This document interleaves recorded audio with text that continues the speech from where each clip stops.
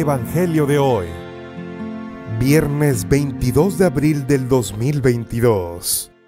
Lectura del Santo Evangelio según San Juan. Capítulo 21. Versículos del 1 al 14. En aquel tiempo, Jesús se apareció otra vez a los discípulos junto al lago de Tiberíades, y se apareció de esta manera. Estaban juntos Simón Pedro, Tomás, apodado el mellizo, Natanael, el de Caná de Galilea, los Zebedeos y otros dos discípulos suyos. Simón Pedro les dice, Me voy a pescar.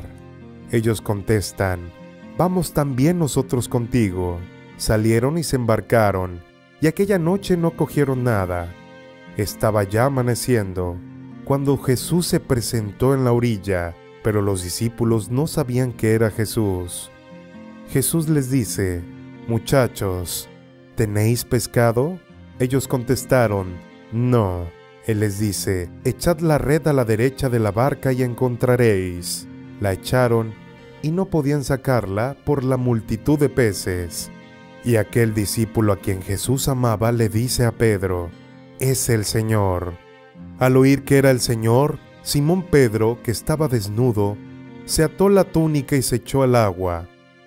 Los demás discípulos se acercaron en la barca, porque río distaban de tierra más que unos doscientos codos, remolcando la red con los peces. Al saltar a tierra, ven unas brasas con un pescado puesto encima y pan. Jesús les dice, Traed de los peces que acabáis de coger. Simón Pedro subió a la barca y arrastró hasta la orilla la red repleta de peces grandes, 153 y aunque eran tantos, no se rompió la red. Jesús les dice, Vamos, almorzad. Ninguno de los discípulos atrevía a preguntarle quién era, porque sabían bien que era el Señor.